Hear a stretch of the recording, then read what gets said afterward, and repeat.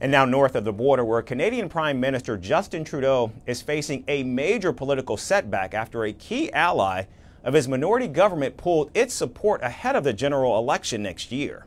In an online video, New Democratic Party leader Jagmeet Singh said that liberals failed to take on the conservative opposition.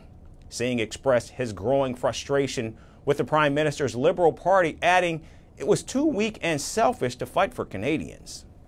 Hey, I notified the Prime Minister that I've ripped up the supply and confidence agreement. Canadians are fighting a battle, a battle for the future of the middle class. Justin Trudeau has proven again and again he will always cave to corporate greed.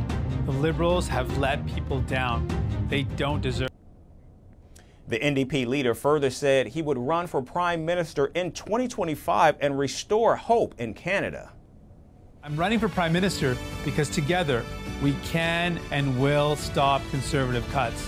We can deliver relief and restore hope, fix healthcare, build homes you can afford, stop price gouging. It's always impossible until it isn't. It can't be done until someone does it. If we're together, nothing is impossible. And we won't let them tell us it can't be done. Big corporations and wealthy CEOs have had their government. It's the people's time. Now, the two parties struck a deal in 2022 to keep Prime Minister Trudeau in power until mid 2025 in exchange for more social spending. Prime Minister Trudeau has reacted to Singh's surprise announcement, saying he will not indulge in politics and will focus on tackling the country's high inflation and housing crisis. Not focused on politics. I'll let other parties focus on politics. I'm focused on actually delivering the things that Canadians told me this summer they need. I had thousands of conversations with people across the country. Very few of them wanted to talk politics. They wanted to talk how are they going to make sure uh, that they can afford their, their rent as they get back to school in the fall, how they're going to be able to hope to one day be able to own a home. Now, to be clear, Singh pulling his support for the Prime Minister does not mean a snap election is imminent. However, it could force Canada to go to the polls before the scheduled election date next year. In fact, a no confidence vote could be on the table soon, and Prime Minister Trudeau would have to find other support in Parliament to survive the floor test. Canada's lower house of parliament currently has 154 Liberals, 119 Conservatives, and 24 NDP members. And so far, opinion polls have shown the Conservatives well ahead of the Liberals with 43% against, while 21% in favor of Liberals.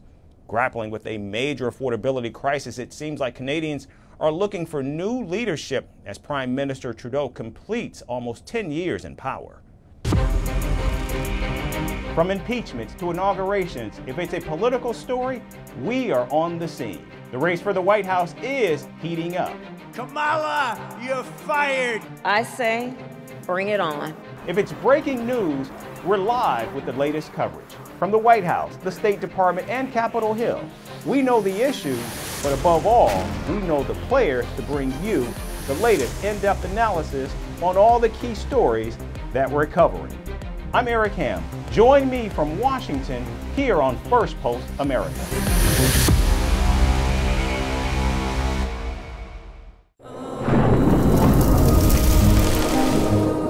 Climate change is on our doorstep. It's time for a revolution to take root. And it starts with 1.4 billion Indians. It starts with one tree. One tree for humanity. One tree for Mother Earth. One tree for our future. Project One Tree a News 18 network initiative.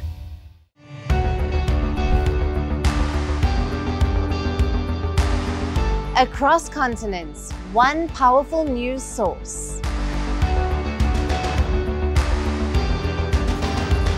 Bringing you diverse perspectives on the issues that matter.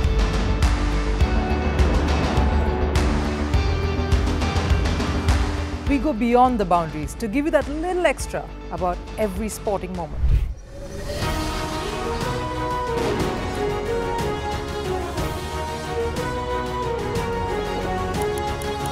So thank you for making Firstpost 5 million strong. We're counting on your support and you can trust us to bring you the news unfiltered and unvarnished.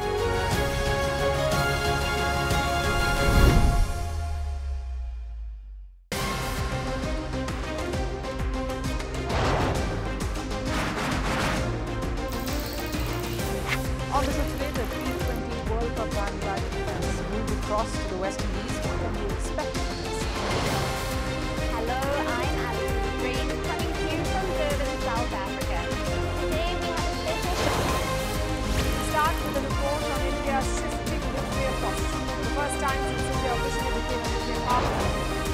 and welcome to Firstpost America. I'm Eric Ham, coming to you live from the nation's capital Washington, D.C.